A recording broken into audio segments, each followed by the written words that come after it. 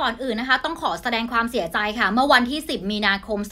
2517นะคะ เว็บไซต์ต่างประเทศค่ะ ได้รายงานข่าวเศร้าของคุณโซเฟียลีโอน นักแสดงดังหนังผู้ใหญ่ชาวอเมริกัน ในวัยเพียงแค่ 26 ปีค่ะ ที่เธอนั้นนะคะ ถูกพบว่าเสียชีวิตอย่างกระทันหัน ภายในอพาร์ตเมนต์ของเธอ ในเมืองอัลบูเคอร์คี รัฐนิวเม็กซิโก สหรัฐอเมริกาค่ะเจ้าหน้าที่ตำรวจนะคะ ได้อยู่ระหว่างการตรวจสอบสาเหตุการเสียชีวิต แล้วก็คาดว่างานนี้นะคะ อาจจะมีส่วนเกี่ยวข้องกับเหตุสะเทือนขวัญที่น่าตกใจค่ะ โดยทางครอบครัวของโซเฟียลีโอนนะคะ นั้นได้ประกาศการเสียชีวิตของนักแสดงสาวค่ะ บนเพจระดมทุน GoFundMe โดยระบุข้อความเอาไว้ว่า ในนามของแม่และครอบครัวของเธอ เราขอประกาศให้ทุกคนทราบด้วยความจริงใจว่า โซเฟียที่รักของเราเสียชีวิตแล้ว อย่างไรก็ตามในตอนแรกไม่มีการเปิดเผยสาเหตุของการเสียชีวิตของคุณโซเฟีย ก็ทำให้แฟนคลับนะคะ ต่างตั้งข้อสงสัยค่ะ แล้วก็ต่างคาดเดากันไปต่างๆ นานา ว่าเป็นการจบชีวิตของตนเองหรือเปล่า ทั้งนี้นะคะ ในกระแสโลกออนไลน์ค่ะ ก็ถูกพูดถึงไปต่างๆ นานานะคะ เนื่องจากเธอนั้นค่ะเป็นคนที่มีคนรู้จักแล้วก็มีแฟนๆเนี่ยที่ติดตามผลงานของเธออยู่จำนวนไม่น้อยค่ะ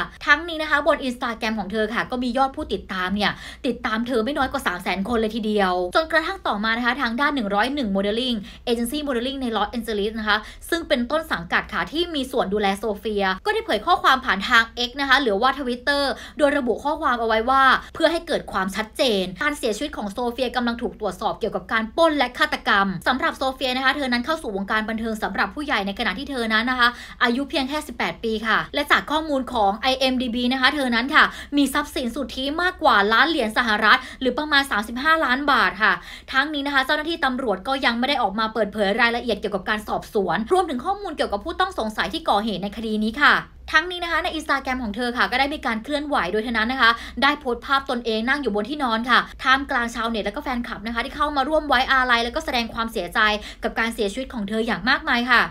สุดท้ายนี้นะคะทีมข่าวค่ะ ก็ต้องขอแสดงความเสียใจกับการจากไป